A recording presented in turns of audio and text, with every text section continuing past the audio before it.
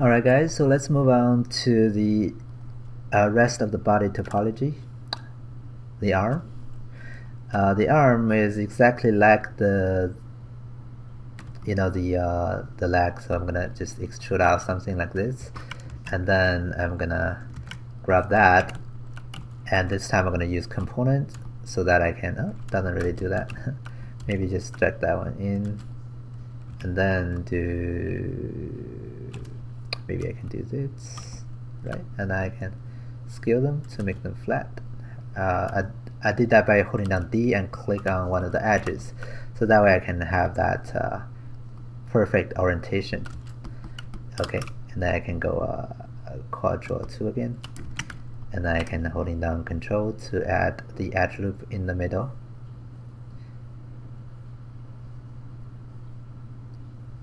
so for the arm it's almost the same kind of series here. So you can end up with something just like this. Simple just loops. Or you can end up with more structure in the middle of the uh, arm. Again that's gonna make the weighting harder it's gonna give you better shape. So let me do that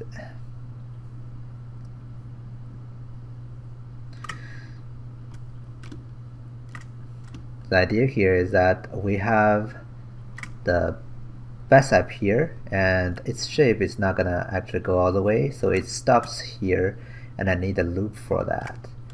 Uh, oops. Uh, because my computer is getting slower because the model is too dense. So what I'm gonna do here is uh, uh, grab this piece of the geometry and then there is the uh, extract faces so that I'm separating again the arm from the body so I can focus on the arm combine those two together.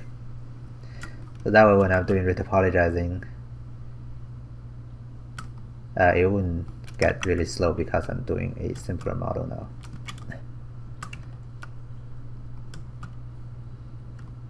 Okay, so what I'm doing here is find out the loop that's wrapping around the deltoid, uh, sorry, the bicep.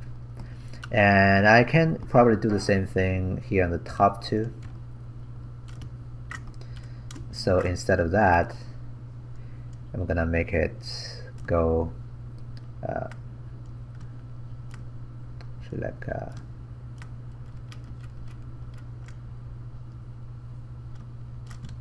like this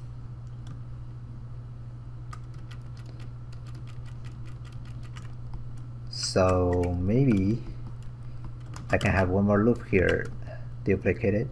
Oh it's actually all I have there. Ah, so let me try this. Draw 2 with that selected so I can at least see it. And let me do this then. So what I mean is I want to have a loop that's wrapping around the bicep like this. Okay. So that I do have a capsule kind of like shape here that is representing it more or less. And then for the back side uh, let me delete that. And let's think about what's happening here. I think it's easy. I just need to connect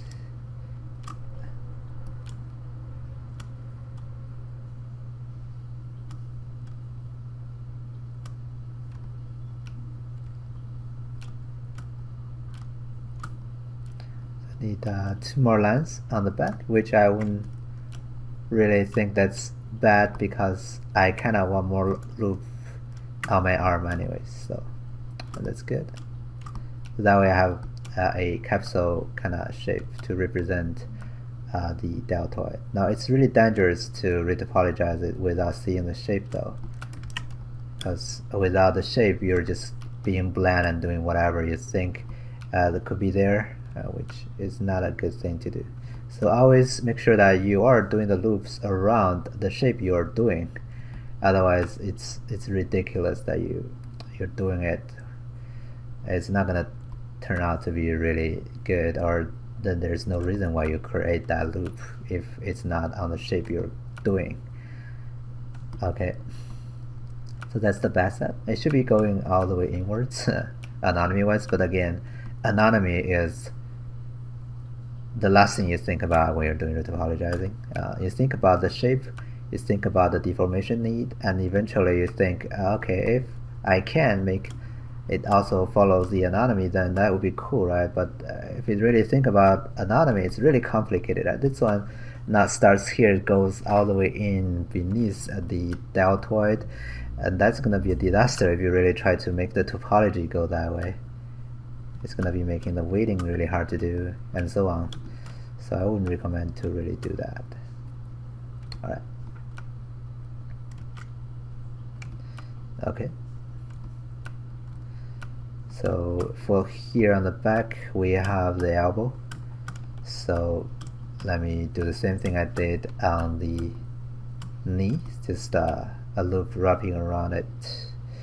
And I have uh, geometries like that. Okay.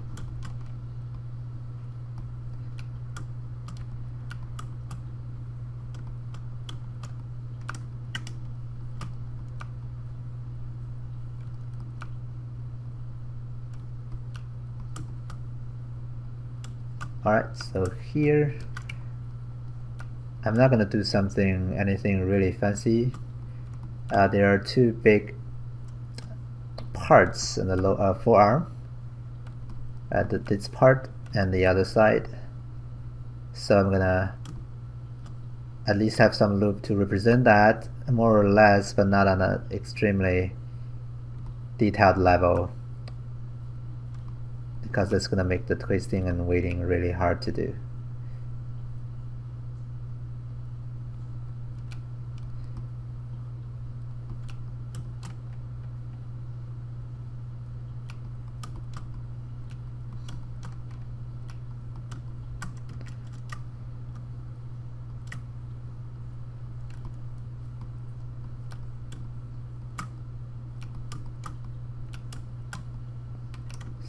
Uh, oh, gonna be needed to be ending. Here actually.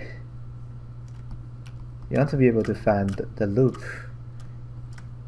So the reason I want I make this one connect to there is because it's from there. I want it to be a consistent consistent loop instead of going spiral. So that's why I'm finding out there first and then maybe I can figure out what's going on over here. So maybe it can be more like this.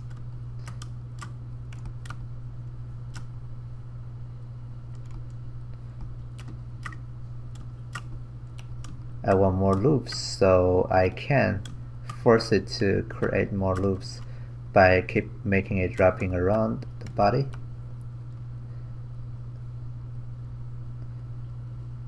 so I end with two more loop here. And I can maybe have one more here. And maybe one more. So that uh, it will give me a lot of loops uh, on this area. Uh, a lot of loops going downwards. Uh, because I will have a lot of loops from the hand so maybe it's a good thing right don't really worry about that part. Of course, that's still the, the geometry that's that's still representing the shape I'm doing there, so I'm really happy with that. Just need just need to uh, find out where the loops are. Again, the bending here I need maybe more support. So let me add one more loop here around the elbow just to give me more loop to bend this area.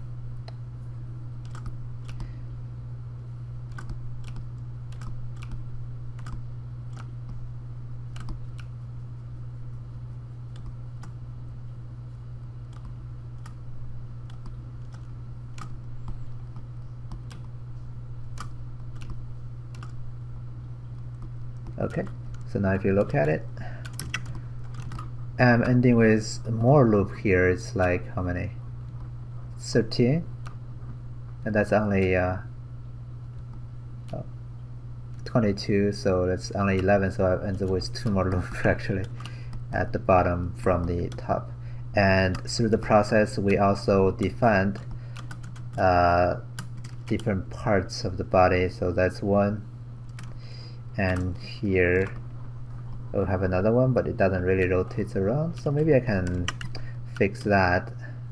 Go to quad draw 2 so I want this part to actually rotate back and it, but it rotates back here instead of there. So it needs to be like this actually.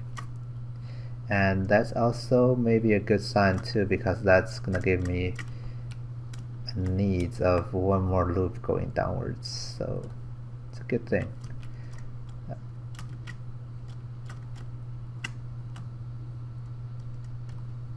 oh. See uh, so this one going in and that loop uh, should be connected here. And uh, let's see that's that one this is one loop this is another one. So this should be okay and that okay so here maybe uh this loop.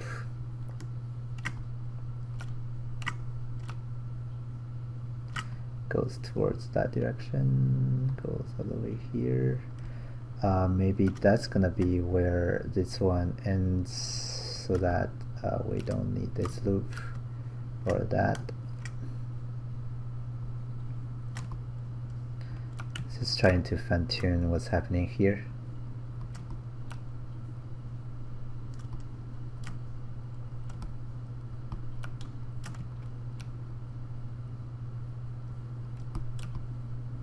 So I don't end up with one more loop actually because you know it has to be like that because you you have one loop going in a different way and there must be another one on the other side that's doing the same thing so you end up with the same amount of loops. So yeah do here. But the good thing about it is that I can have more loops if I wanted to because I have established uh, this part of the body. So if I want more loop I can add one. And that's gonna give me two more loops connecting to the bottom of the arm. And basically again that's a good thing uh, if I want to have uh, the same amount of loop going from the arm to the hand and because the hand will have a lot of fingers and the finger will require a lot of loops to represent and you will end a lot of loops on the palm of the hand anyways. So having more loop here on the arm wouldn't be a bad thing. Again this part will give you better shape. It's harder to do the to do the weighting uh, but I'm gonna do that anyways because I I think I can handle a little weighting difficulties. If I can end with better shapes I will do that anyways. So now if you look at here you have because you have these loops uh, those two loops here uh, you already have that shape being here with lesser topology. Okay I hope that makes sense to you. And uh, yeah let me just keep on maybe refining the positioning of those vertices. And those, those can be even out later on down the way. Okay. So let me then go extrude that out. Oh doesn't have that part in. Let me just uh, bridge that. Then go to quad draw. Add that edge loop and then merge it there. Okay. And then I can hold it down D and snap it there so I can make it flat and rotate it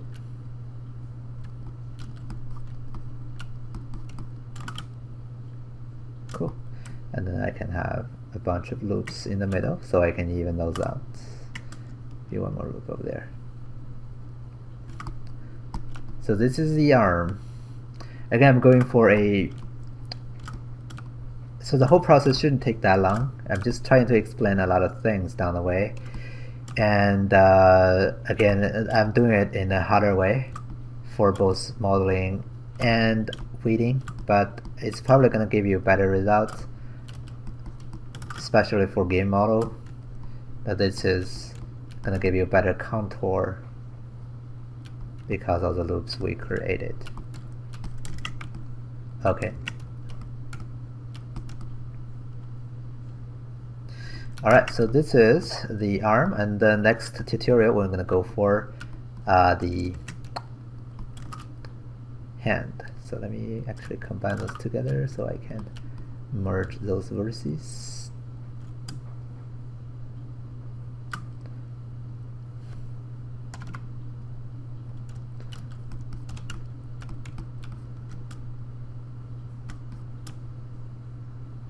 Alright, so in the next tutorial we're gonna go for the hand, which is probably the hardest topology across the entire body. So we'll maybe spend more time on that part. So see you next time.